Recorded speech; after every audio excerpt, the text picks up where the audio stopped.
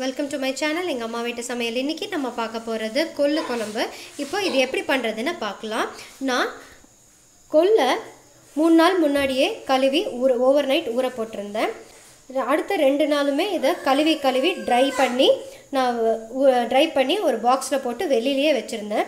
இதை நல்லா இப்படி முளை கட்டிடுச்சு. பாருங்கள் நல்லா பெருசு பெருசாக இப்படி முளை கட்டிடும். இது ரொம்ப ஹெல்தி இப்போது இது இதுக்கு ஒரு தக்காளி ஒரு பச்சை மிளகா ஒரு பெரிய வெங்காயம். ரஃபாக கட் பண்ணிக்கோங்க.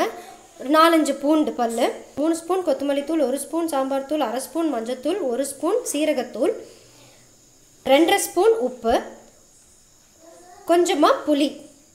இப்போது இது எப்படி பண்ணுறதுன்னு பார்க்கலாம். முதல்ல அடுப்பை பற்ற வச்சு குக்கர் எடுத்துக்கோங்க. அதில் ஒரு ரெண்டு ஸ்பூன் எண்ணெய் ஊற்றிக்கோங்க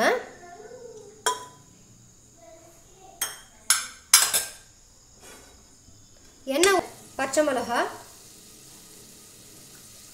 ரஃபாக கட் பண்ணி வச்சுருந்த இந்த வெங்காயம் பூண்டு தக்காளி இது எல்லாத்தையும் சேர்த்து நல்லா வதக்கிக்கோங்க. மிக்சி ஜாரில் ட்ரான்ஸ்ஃபர் பண்ணிக்கலாம். பாருங்கள் இப்போ நான் இதை அந்த மிக்சி ஜாரில் ட்ரான்ஸ்ஃபர் பண்ணிட்டேன். இது கூடவே நம்ம எடுத்து வச்சுருந்த புளி அப்புறம் இந்த மசாலா தூள் இது எல்லாத்தையுமே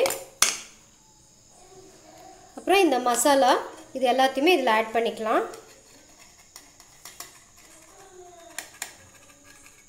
பேஸ்ட்டாக அரைச்சிக்கலாம். பாருங்கள் இப்போ இதை நல்லா அரைச்சாச்சு.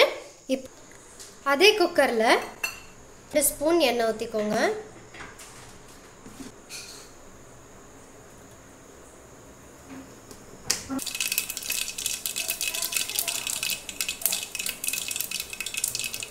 கொல்லை சேர்த்திடலாம்.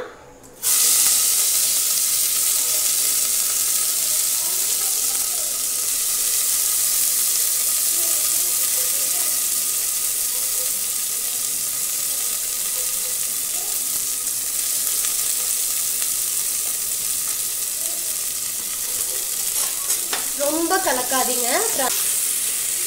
லைட்டாக கலக்கிக்கோங்க போதும்.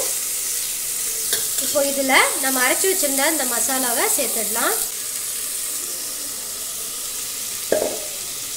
சேர்த்து இதில் இந்த தேவையான அளவு தண்ணியும் ஊற்றி விட்டுருவோம் பாருங்கள் நல் தண்ணியும் சேர்த்தியாச்சு. அவ்வளோதான் இப்போது இதை மூடி வச்சுருங்க. மூடி வச்சு நான் அஞ்சு விசில் விட போகிறேன் ரொம்ப ஈஸி உங்களுக்கு பிடிச்சதுன்னா இது கூட கத்திரிக்காய் உருளைக்கிழங்கு முருங்கைக்காய் கூட சேர்த்திக்கலாம்.